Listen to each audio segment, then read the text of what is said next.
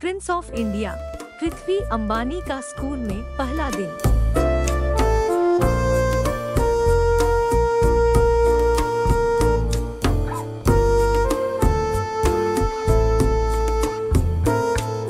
मुकेश अंबानी और नीता अंबानी के पहले पोते पृथ्वी आकाश अंबानी का मंगलवार 15 मार्च 2022 को स्कूल में पहला दिन था पृथ्वी अंबानी मंगलवार को सनफ्लावर नर्सरी स्कूल में गए, जहाँ वो अपनी माँ श्लोका अंबानी और पिता आकाश अंबानी के साथ दिखाई दिए। इस दौरान, उनकी माँ श्लोका मेहता ने पृथ्वी को गोद में लिया हुआ था।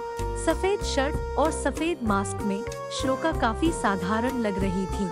सनफ्लावर नर्सरी स्कूल, मुंबई के मालाबार हिल में स्थित वही नर्सरी स्कूल है, जहाँ उनके माता पिता आकाश और श्लोका अंबानी दोनों स्कूली शिक्षा ली थी।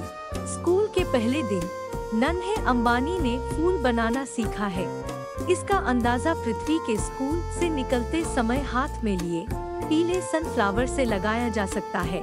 बताया ये जा रहा है कि स्कूल में पृथ्वी अंबानी के साथ अन्य सामान्य बच्चों की तरह ही व्यवहार रहेगा, क्योंकि पृथ्वी के माता पिता आकाश अंबानी और श्लोका अंबानी चाहते हैं। कि वह एक साधारण जीवन जिए। पृथ्वी अंबानी की सेहत को ध्यान में रखते हुए सभी तैयारियाँ की गई हैं। पृथ्वी के साथ हर समय एक डॉक्टर रहेगा, ताकि वह सुरक्षित रहे।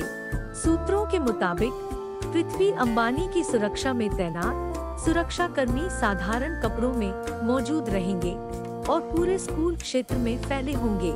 पृथ्वी अंबानी के लिए लगभग छह विशेष रूप से प्रशिक्षित, नैनी और केयरटेकर भी नियुक्त किए गए हैं, जो हर समय उसके साथ रहते हैं।